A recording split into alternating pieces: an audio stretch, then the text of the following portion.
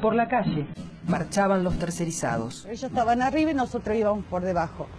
Este, sabíamos que, que era imposible cortar las vías, así que seguimos camino hasta que cruzamos un puentecito y vimos este, eh, un espacio como para avanzar. Traté de subir el terraplén eh, y otros compañeros también eh, trataban de subir, pero yo no sentía ruido, venían como una jauría de perros, un montón de gente a los gritos, como entonces este, traté de, volverme, pero no tuve tiempo. Me tapé la cara y me dieron el pedazo en la panza, a otros compañeros en la cabeza